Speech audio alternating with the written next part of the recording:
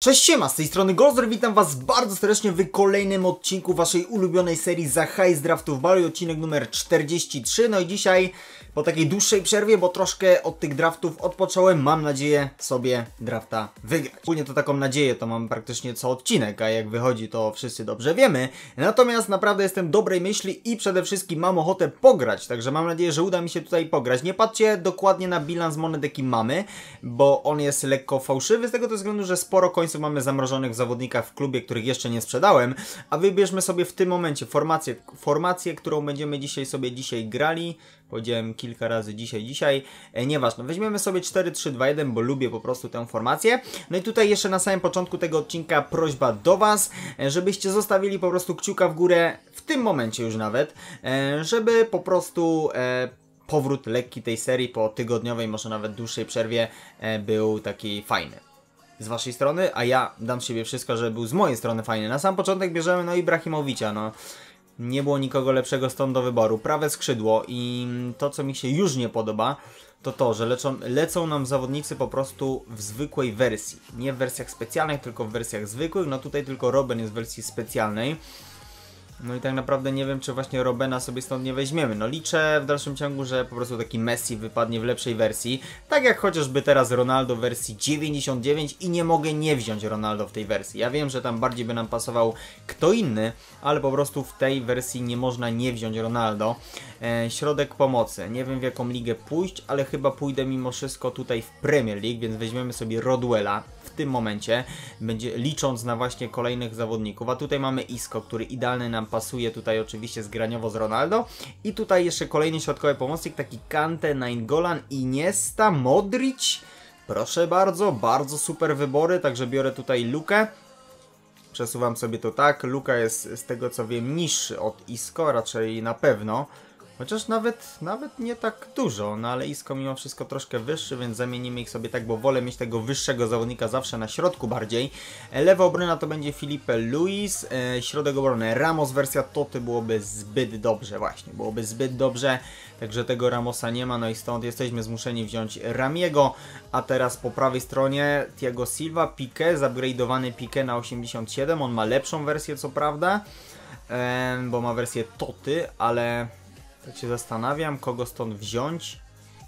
I nie wiem, czy to właśnie nie będzie Pique, bo w sumie mógłbym zaryzykować... Dobra, wiecie co? Thiago Silva to jest super karta, więc zaryzykuję go tutaj. E, na prawą obronę trafiamy chociażby teraz Daniego Alvesa, które tutaj nam zgranie narodowościowe z Thiago Silvą daje, więc nie był to taki zły wybór w sumie, jak tak patrzę. E, weźmiemy sobie tego Daniego Alvesa, mimo że też ma lepszą wersję. I szybciutko goalkeeper, no taki Kevin Trapp, Handanowicz... E, Diego Lopez, Mirantes, Portiello, Batland. E... Hmm, hmm, hmm, hmm. Weźmiemy sobie Handanowicia. Wiem, że to może być dla Was troszkę dziwny wybór teraz, ale mam nadzieję, że uda mi się to, co chcę zrobić. A teraz trafiamy Diego Godina, który jest o wiele lepszym obrońcą niż Rami, także Godin sobie ląduje w to miejsce.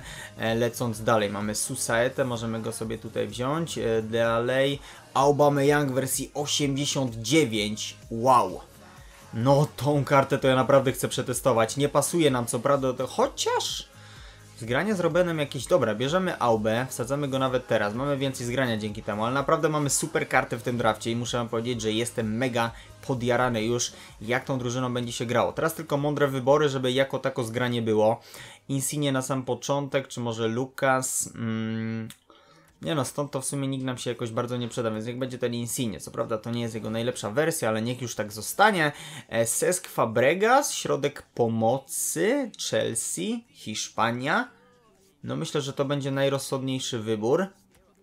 Tak, to będzie najrozsądniejszy wybór, bo mamy tutaj przecież trochę Hiszpanów w drużynie, więc może jakoś to się połączy.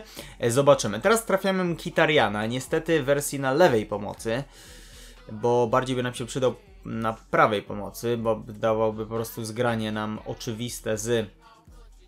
Z kim by dawał? O Jezu, tam był Fernandinho, ale jestem głupi. Tam był Fernandinho, który idealnie by nam po prostu zgranie dawał, a teraz zobaczcie jaki mamy trudny wybór, bo mamy Benzemę, który dawałby nam tutaj idealne zgranie po prostu z Ronaldo i dzięki temu mielibyśmy, no, kolejnego super napastnika w tym drafcie, bo mamy już Ibre, mamy przecież AUB, mamy Benzemę, mielibyśmy Benzemę, a z drugiej strony mamy Messiego wersji Toty. Czy tego Messiego Będę musiał liczyć na to, że trafimy po prostu środkowego pomocnika, jeszcze jednego po prostu z Ligi Hiszpańskiej. E, no ja wezmę tego Messiego, no cholera, no skoro wziąłem Ronaldo Toty i mam jeszcze do wyboru Messiego Toty, to ja muszę tego Messiego Toty wziąć. A teraz trafiamy Tiago, który jest dobrym wyborem dla nas w tym momencie, myślę. Myślę, że naprawdę dobrym wyborem dla nas, więc tego Tiago wezmę. Jest już troszkę lepiej, jakiś tam plan w głowie na to mam. Dodatkowo mam jeszcze Hernandeza, w razie czego...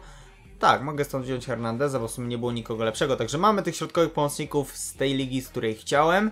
E, tragedii jakiejś nie ma. Mamy też Munier tutaj, którego sobie wezmę, bo nam może być potrzebny do zgrania z Tiago Silvą. I ostatnie wybory to jest Pereira, o, który również nam tutaj pasuje fajnie, bo dawałby przecież granie na przykład z Tiago. E, spoko. Myślę, że możemy tutaj wziąć właśnie Pereira. Jest to też jakaś alternatywa w dalszym ciągu. I rezerwowy bramkarz to będzie chyba w sumie, chyba w sumie to będzie Rufier, bo będzie nam jako tako dawał zgranie z Tiago Silva. Słuchajcie, troszkę się tutaj pobawiłem, mamy 90 oceny ogólnej, 89 zgrania. Mógłbym mieć tego zgrania minimalnie więcej, gdybym tutaj na atak wrzucił na przykład Susaetę, ale wydaje mi się, że Auba, przepraszam, na tych czterech zgraniach sobie tak czy siak poradzi. No i reszta składu wygląda po prostu fenomenalnie, no co by to ukrywać. E, tylko tak naprawdę Mm, znaczy wszyscy mają e, prócz... Oj, Messi też nie ma. Wszyscy prócz Messiego oraz Auby mają przynajmniej 7 zgrania, także to jest jak najbardziej na plus. No i mimo wszystko mam nadzieję, że sobie poradzimy. Jakby co, to mamy niesamowicie mocną ławkę. No popatrzcie sobie tylko na tę ławkę, więc w razie czego mamy kogo wpuszczać. No i naprawdę jestem dobrej myśli i przede wszystkim chce mi się grać. Także lecimy właśnie do pierwszego spotkania. A w pierwszej rundzie zmierzymy się z Polakiem i ma on oto też taką jedenastkę. Myślę, że bardzo, ale to bardzo bez szału. Tiago. Piłeczka do Isco. Isco schodzi do środeczka, będzie szukał partnera. Nikogo jednak nie znalazł, a teraz to my musimy się wracać. Super Thiago Silva i teraz zobaczmy, szybciutko, Messi. Zobaczmy Pierre-Emerick Aubameyang, no jego zwykła wersja jest niesamowita, co dopiero inform i pierwsza akcja Aubameyanga od razu kończy się bramką, piąta minuta, 1 do 0. Teraz zobaczmy Ronaldo, Isco do Auby, nie doszła ta piłka, ale jeszcze Ronaldo. Ronaldo odgrywa piłkę i teraz zobaczmy, piłka do Messiego i Messi się musi rozpędzić tutaj prawą stroną. Messi, no ale nie widać tej szybkości Messiego w tym pojedynku, bodajże z Aleksem Sandro. Zobaczmy jeszcze jednak, jest tutaj Luka Modric, zawinął, ależ uderzył Ronaldo, nie ma bramki, ale fenomenalne uderzenie Luki Modricia, no ze stojącej praktycznie piłki tak perfekcyjnie uderzyć, no może nie perfekcyjnie, ale bardzo dobrze. Perfekcyjnie by było, gdyby zdobył bramkę. Teraz to my bramkę możemy, ale stracić. Marcos broni rywal. Za co? Przepraszam bardzo.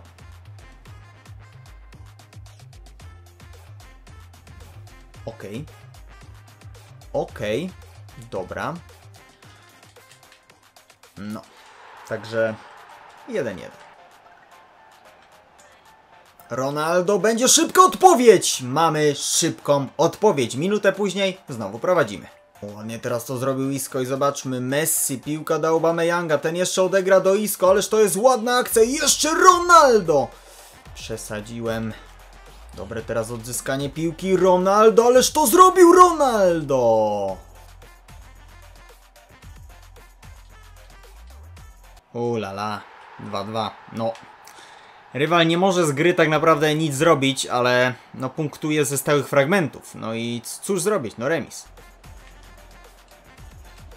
Messi! I znowu bardzo szybciutko rywal nie może cieszyć się z remisu, bo tym razem dwie minuty później, ale dziwne uderzenie Messiego. I mamy znowu moje prowadzenie, 3 do 2. Oj, oj, oj, oj, oj, oj, oj, oj, oj, mamy bramkę w końcu z gry dla rywala. No nie wiem, co się dzieje. Czemu ja tracę tak głupie bramki, ale Perisic znowu daje remis i mamy już szóstą bramkę w tym meczu. Fabregas, jeszcze piłka do Messiego, ten schodzi na lewą nogę, Messi! Messi jeszcze z rożnego Ronaldo, dziękuję bardzo, 86 minuta i Cristiano daje mi, mam nadzieję, rundę drugą. No, jak ta piłka została pod jego nogami, no, no nie dowierzam w to, no po prostu w to nie wierzę. Ile można mieć szczęścia w jednym meczu, no, Dlaczego odbieram piłkę gościowi, piłka dalej jest pod jego nogami? No nienawidzę takich spotkań. Jeszcze mi się jakiś samouczek włącza, no. Jakie to jest posrane! Moi zawodnicy od 50 minuty, bądź tam 55 po prostu są debilami, bo inaczej tego nie nazwę, no. Totalnie nie rozumieją, jak powinno się zachowywać na boisku. I koleś, który powinien przegrać w 90 minutach bardzo wysoko, prowadzi ze mną 5 do 4 w dogrywce.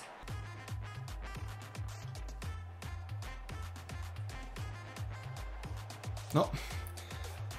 No patrzcie na to! Dwa razy odebrałem piłkę i dwa razy ona dalej była pod nogami Suareza. No przecież to jest jakieś niepojęte, no.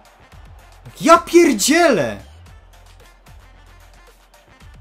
No, ostatni rzut rożny w tym meczu. Ja przegram, ja przegram w pierwszej rundzie. To jest niesamowite, naprawdę. No chyba, że Rona... Nie, patrzcie, nawet mu automatycznie komputer wybijał piłkę, bo on nie kontrolował tego zawodnika.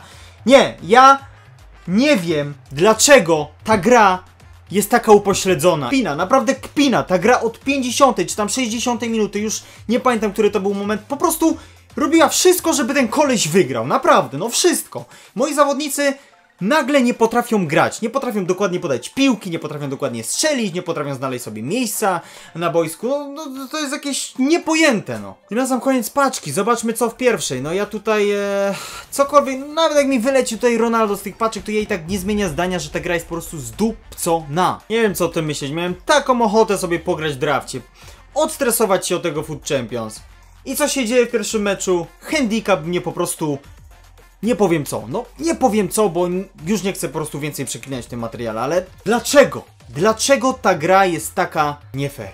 Także jak to by było na tyle, nie wymagam od Was łapki w górę pod tym filmem, nawet o nią nie proszę, mimo że prosiłem na początku, ale teraz absolutnie o nią nie proszę, bo po prostu ten materiał nie zasługuje na łapkę w górę. Tak samo jak tamten typ na zwycięstwo. Mówił Goldzor. Na razie.